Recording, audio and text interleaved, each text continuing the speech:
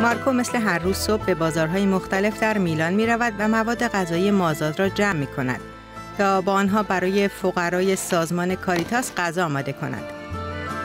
او برای این کار به مرکز میلان نمی رود. ایتالیا کشوری است با دو سرعت متفاوت و میلان بهترین نمونه این خصلت است.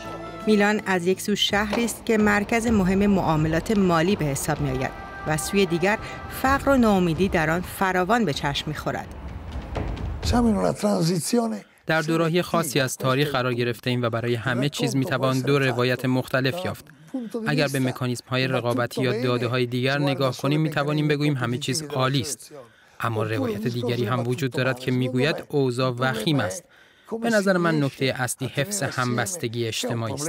این مسئله فقط مختص ایتالیا نیست و مربوط به تمامی دموکراسی های اروپایی است. democrazie europee di come fanno a tenere insieme la coesione sociale. در ایتالیا حدود چهار میلیون نفر در فقر مطلق به سر می‌برند.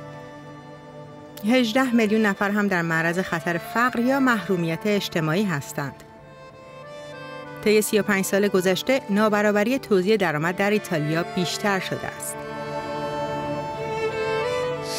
کشوری وضعش خوب است که بتواند بهترین بخش جامعه را سرپا نگاه دارد که باید شامل کسانی نیز شود که در زندگی با مشکلات دست به گریبان هستند. مشکل ما در ایتالیا پوشش دادن اکثریت جامعه است.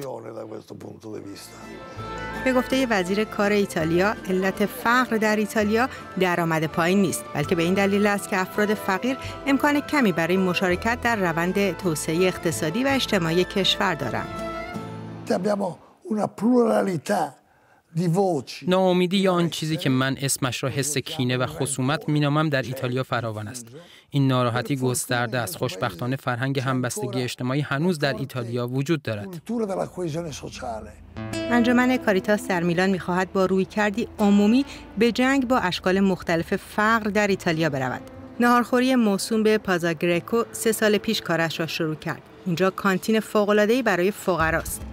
در اینجا نیز با مازاد مواد غذایی و میوه و ترهبار بازارها برای فقرا غذا تهیه می شود. از سال 2008 تا 2012 تعداد کسانی که در میلان برای دریافت غذا به مراکز مشابه مراجعه کردند حدود 30 درصد افزایش داشته.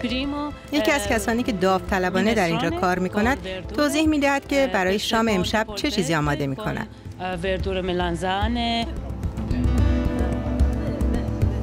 ظرفیت این کانتین 100 نفر است و افراد فقیر می توانند مدت محدودی در اینجا بمانند. مشروط بر اینکه ثابت کنند به طور جدی متقاضی کار هستند. قرار نیست اینجا فقط محل تغذیه جسم کسانی باشد که به ما مراجعه می کنند و ما با مواد غذایی مازاد به آنها غذا بدهیم. اینجا محل مناسبی برای ارتباط برقرار کردن است. جایی که فرد اعتماد به نفس خود را باز می‌یابد و فرصت‌هایی در اختیارش قرار می‌گیرد که تا به حال از آنها برخوردار نبوده. این فرد با کمک کسانی که در اینجا داوطلبانه کار می‌کنند خواهد توانست راهش را در زندگی پیدا کند.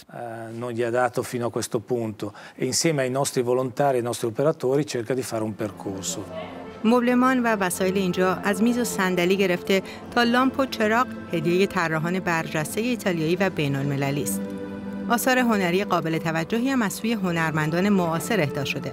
اولین قدم برای پشت سر گذاشتن محرومیت دیدن زیبایی ها و لذت بردن از آنهاست.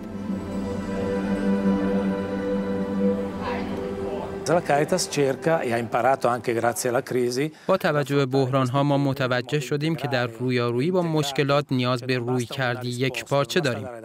تأمین غذا و خورد و خوراک کافی نیست. باید کاری کنیم و بستری برای این افراد فراهم کنیم که مستقل شوند.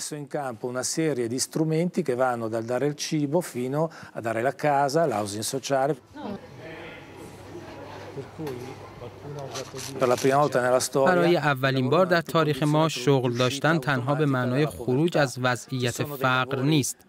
مشاغل زیادی وجود دارد که دستمزدشان خیلی بد است.